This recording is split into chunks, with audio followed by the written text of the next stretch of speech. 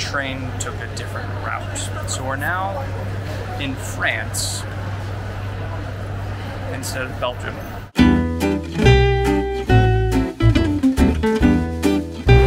Just a second. There are a few things you should know about us. First of all, we're Ally and Richie, and we decided to leave the US and slow travel through Europe with our dog Penny. We're on a journey to decide if we will travel indefinitely, find a new place to call home, or head back to the US.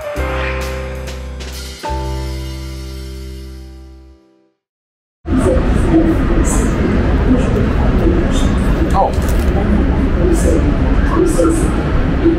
Hi. We're in Central Station here in Antwerp, and I'm trying panos for the first time. Long story short, we love Belgian pastries, and panos is amazing, but on to our trip to Ypres.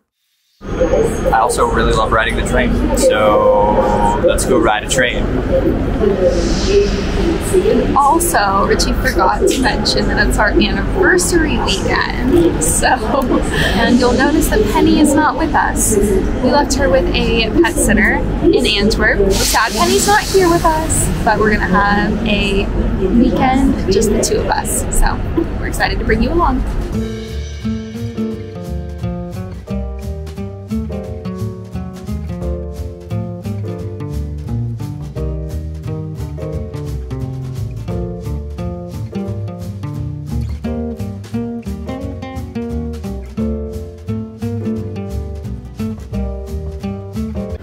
So we took a little bit of a detour.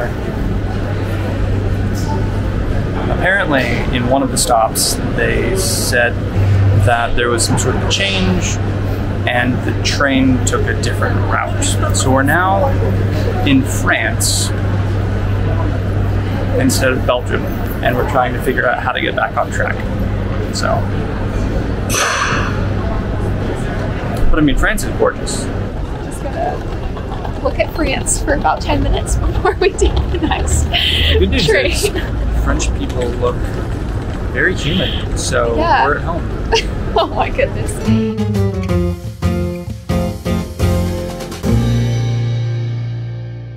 We have arrived in Ypres. Our lovely host of our B&B that we're staying in picked us up from the train station, and she is potentially the cutest human to ever exist. She's so sweet, and she runs this little hotel, boutique hotel by herself, it appears.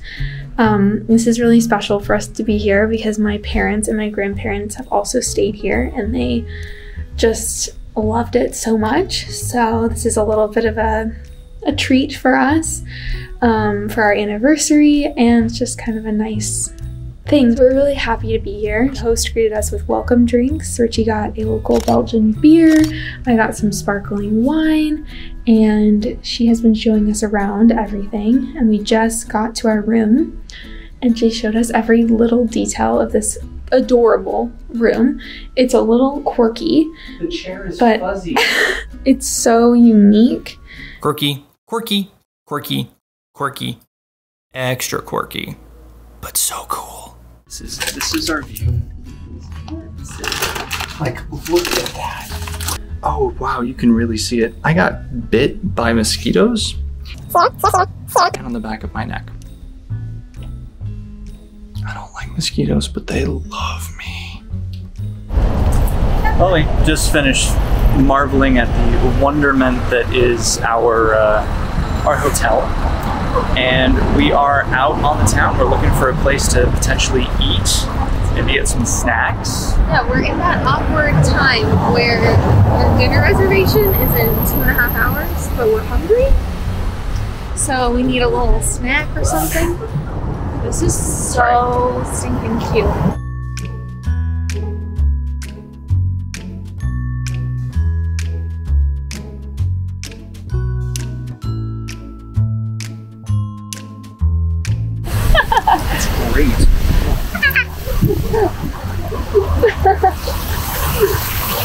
That was almost an ice cream emergency. Oh my gosh.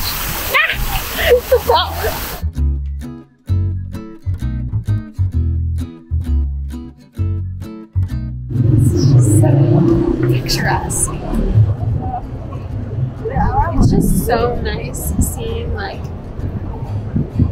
everyone out just like enjoying life.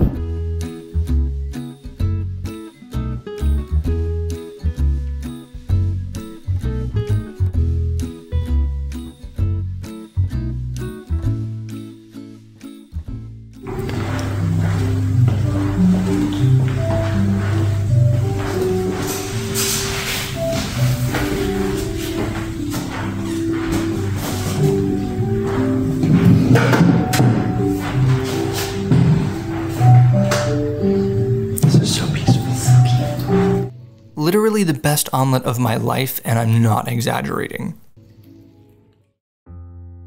The town of Ypres and the surrounding Ypres salient is best known for three major World War I battles. In fact, in 1915, this is where the Germans first used poison gas as a weapon. While it's definitely possible to see many of the World War I sites while on your own visiting Ypres, we opted to take a small half-day tour group to avoid having to rent a car and to get more history from an expert guide, and we're really glad that we did. It was definitely a heavy and solemn tour. But even for people who aren't really into World War I history, the insight into the soldiers' everyday lives, wretched living conditions, and gruesome battles was really moving. It's one thing to read about the number of soldiers who died in World War I in a textbook, it's another altogether to stand amongst thousands of graves fanning out in all directions.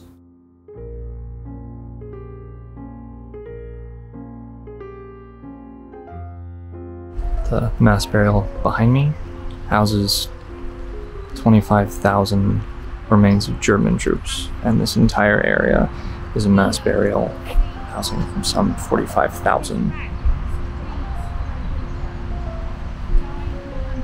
It's incredible. On the tour, we also visited the Canadian Fallen Soldier and the Tyne Cot Commonwealth Cemetery, the largest Commonwealth War cemetery in the world, where we were guided through some of the history, but we also had a space to reflect on the events of World War I in our own time.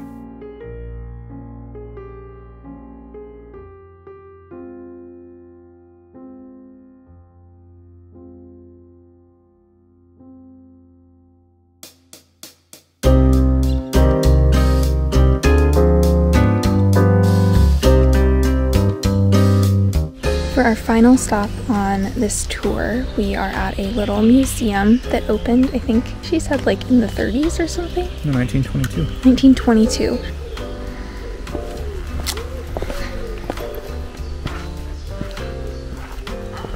I'm walking in an original World War I trench that has the sides sort of supported by metal now so it doesn't collapse.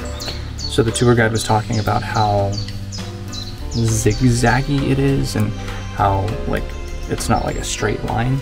And that was number one to like whenever soldiers would come across, they didn't have a straight shot down, so they have to fight around corners. And then also, whenever shells came in, it didn't just go straight across. It, the, the, the dirt held some of the impact, so it saved lives. And it's mind blowing to think that you have to do that lots of rusty metal. Oh god. I, I also didn't realize that it was this long. Richie thought we were gonna miss a brewery tour, but we're actually just gonna miss a lunch reservation because this tour is going long. But that's no big deal because we can find somewhere else to eat.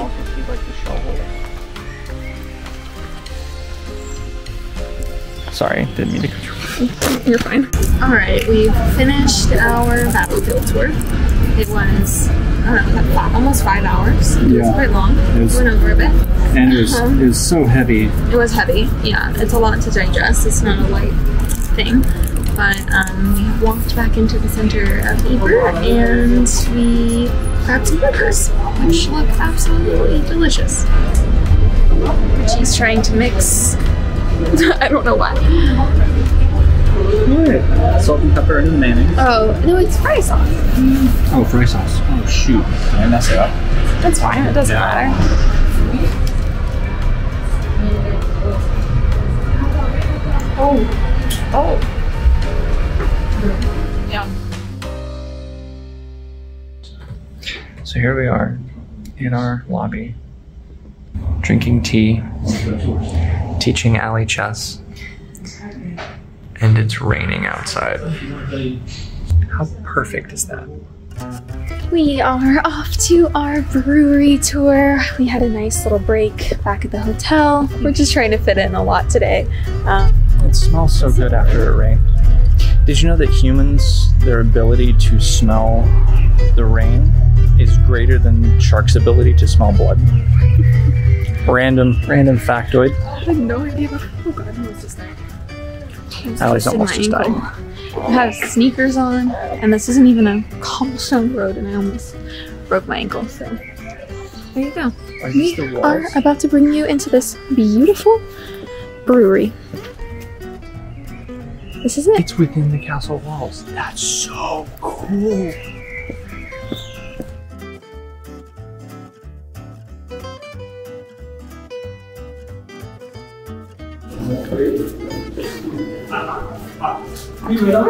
Hello, welcome.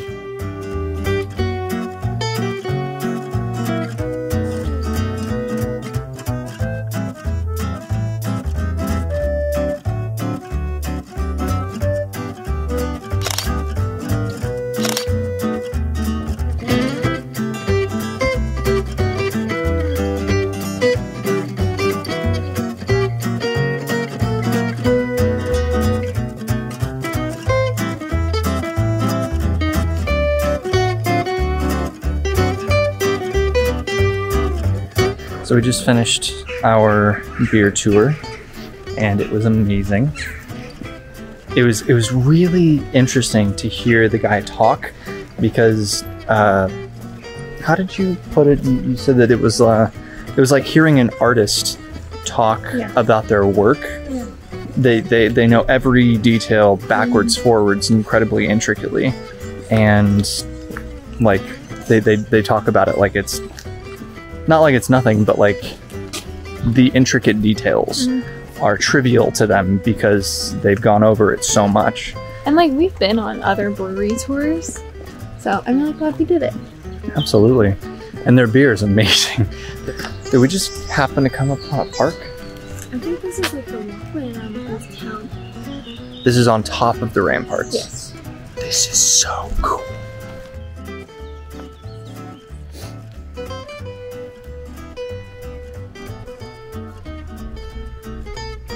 We're totally going down here.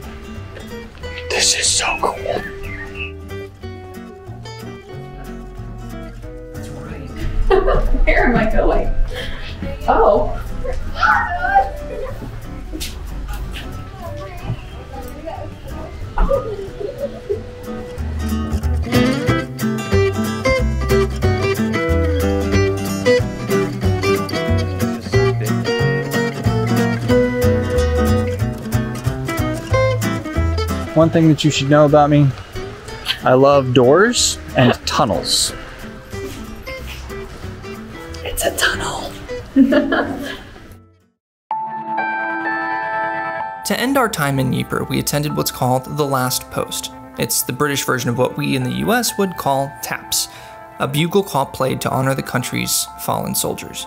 Originally, this last post was sounded to mark the end of the day's labors and the onset of the night's rest, but over time it began to be used as a way to ceremonially honor soldiers' transition from life to death. Today in Ypres, the last post is sounded every night, 365 days a year, and it has been since 1928.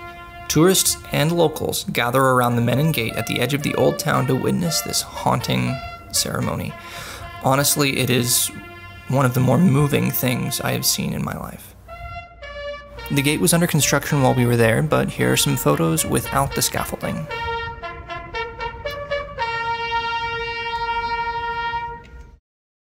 Um, so we are packing up to go back to Antwerp today.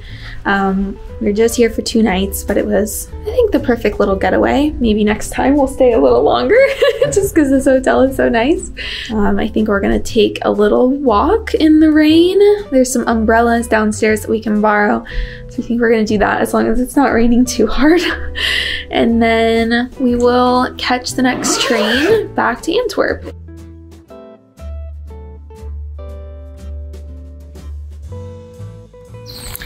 Like ASMR.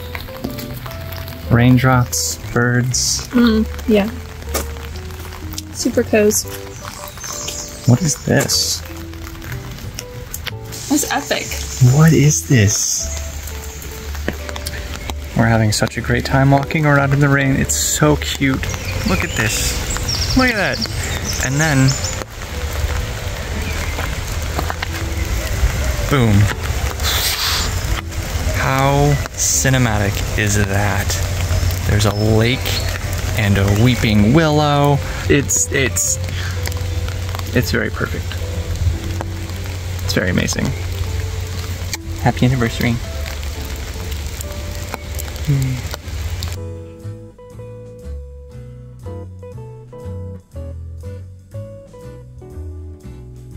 So we're sitting at the train station, basically by ourselves, and it is.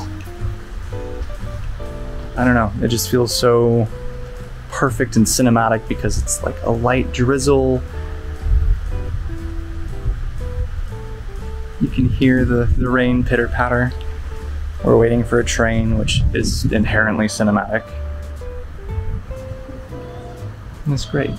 I was just looking at our our photos on our phone, and today's our anniversary. So three years ago, we were getting married. Two years ago, we were doing a hot air balloon ride. So we had just moved to Albuquerque, and one year ago, we were listening to live jazz music in Vancouver. Oh yeah, that's right. And now we're on another trip, doing amazing things, and just makes me feel really grateful that, like every year, we are just doing like cool stuff. Who in the world knows where we'll be next year? Who knows? Where in the world is Richie and Ally? Ally, Ally. Or I guess it's Ally and Richie. Ally and Richie, Richie, Richie. I think it's me first. Maybe I'll be Where's Waldo? Oh wait, we already did that. Insert picture here.